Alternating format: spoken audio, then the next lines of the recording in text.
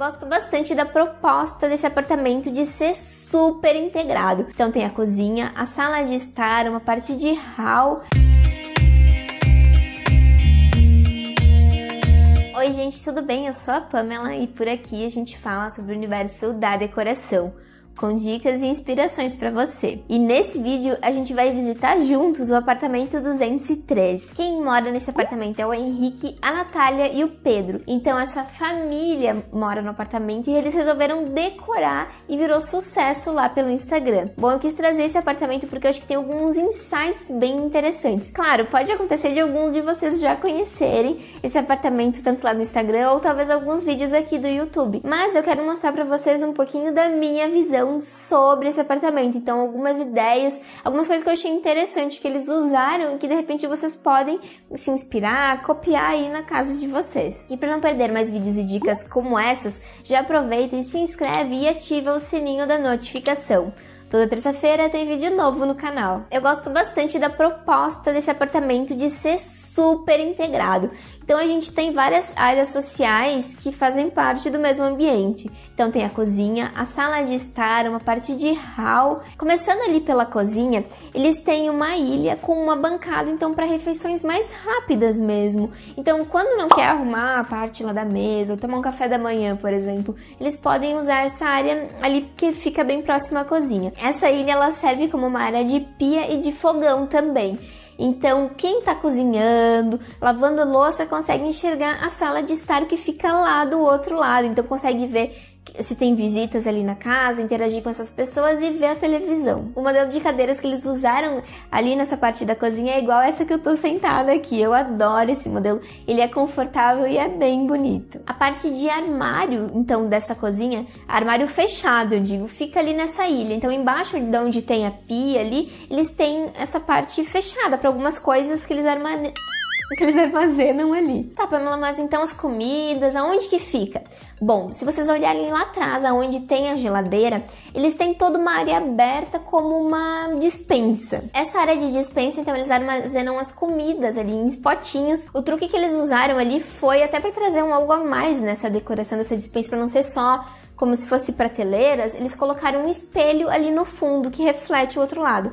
Então é um espaço bem pequenininho, ele te dá uma sensação até de amplitude, mas acaba virando um algo a mais também. A pedra escolhida para a bancada, onde tem a pia ali, eu até esqueci de comentar, é um tom bem escuro. Isso é ótimo, gente, no dia a dia, porque se tu vai pensar assim, qualquer pedra natural vai manchar, seja granito, seja mármore, tá? Então, se é um tom mais clarinho, a mancha aparece com maior facilidade do que se for um escuro. Então você não precisa ficar se estressando e ter que limpar na hora para não aparecer a mancha. Claro que vai ter na escura, mas você não vai ver. Então é uma opção super prática e olha como ficou harmônico, não pesou com o restante do ambiente. E eles têm até uma ligação dessa bancada escura com uma parede que eles têm como se fosse uma lousa ali. Então a gente tem um elemento de ligação, não é só um ponto preto perdido num canto, sabe? E se você tá gostando desse vídeo, já aproveita e curte. Assim o YouTube recomenda o meu conteúdo para mais pessoas se inspirarem também.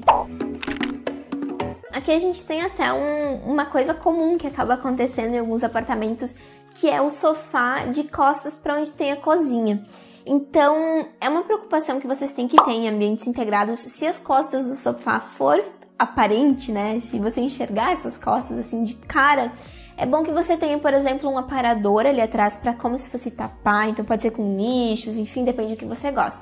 No caso deles, como o sofá é um modelo bem bonitinho, bem confortável, extensível e tal, super lindo, então eles não precisaram se estressar em ter que colocar alguma coisa ali. Além disso, é bom considerar também a circulação do ambiente, se vai caber de fato um móvel ali. E até eles têm uma circulação até que ok, mas eles optaram por não colocar justamente porque o sofá é um sofá bem bonito, a cor dele é um cinzinha bem linda. Então eu gostei bastante. A iluminação eles colocaram um trilho ali na cozinha e lá na parte da sala eles têm um ponto central com como se fosse um pendente, que é muito bonito também, que conversa com os estilos do, do espaço, né? A parte ali de onde tem a televisão, eles colocaram um tijolinho. Eu acho que quem conhece esse apartamento, a primeira coisa que já lembra é essa parede da sala nesse tijolinho. Eu acho que é um é quase como se fosse uma marca registrada deles.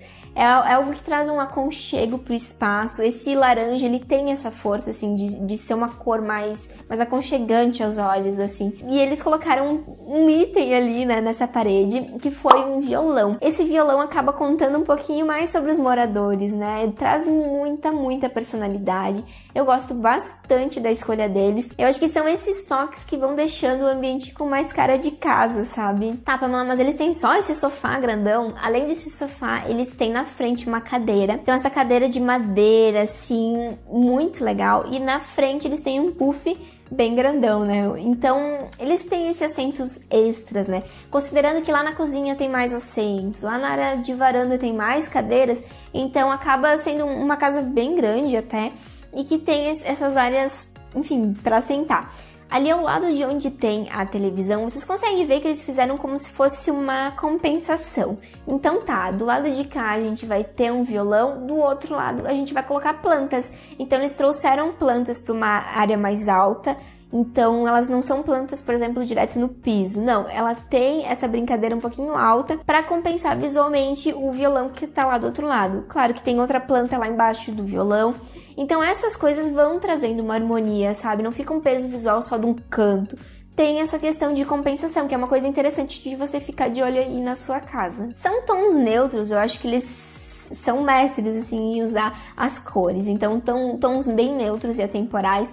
E o toque de cor realmente fica por causa dessa desse puff, mesinha de canto, eles colocaram uma mesinha que pode virar um banco também. Então, que tá nesse toque de azul que querendo ou não, azul eu considero uma cor ali que tá quase na família dos, dos neutros, né? É um pouquinho vibrante, mas, mas é uma cor bem atemporal, né? Então, a parte de cortina também eles colocaram no branco, que acaba dando uma sensação de amplitude, deixa o ambiente aconchegante, como vocês já estão carecas de saber. Eu acho que as escolhas foram muito certeiras e tem muita personalidade essa casa, esse apartamento. Ai, gente, se você gosta das dicas que eu trago aqui pro canal, então aproveita e me seguir lá no Instagram também, porque lá tem dicas bônus, dicas extras, então, que eu dou lá pelos stories e no feed também. Falando um pouquinho aqui da parte de sacada deles, que eu acho interessante a gente comentar, porque essas áreas de sacada eles aproveitaram com uma mesa de sala de jantar, então acaba sendo um apoio lá da cozinha que tem alguns lugares, mas aqui acaba sendo um lugar extra, né? Então, eles aproveitaram muito bem esse espaço. Então, a gente tem uma área de refeições, então com vários lugares, e além disso, eles têm um banco, ele não tem encosto. Então, quem se senta alguém aqui, como não tem o banco do outro lado, ele acaba dando uma ampliada no espaço, sabe? A cadeira ela divide por ter o encosto, ela acaba dividindo mais o espaço. E o banco ele traz realmente essa coisa de, de amplitude. Claro que eles fizeram uma brincadeira, né, com essa mistura. As cores também neutras, então tá, tem o amadeirado, tem o preto. Esse trilho que eles fizeram mesmo, então também dá um toque de personalidade no espaço, que tem esse pendente assim, ficou muito bonito. E do outro lado, eles têm uma área de, de descanso mesmo, que pode ser usada para meditação, então eles colocaram um sofá de área externa, então ficou bem aconchegante e a gente consegue ver que o ambiente ele aproveita ao máximo, as pessoas conseguem usar ao máximo esse ambiente, isso que eu queria dizer.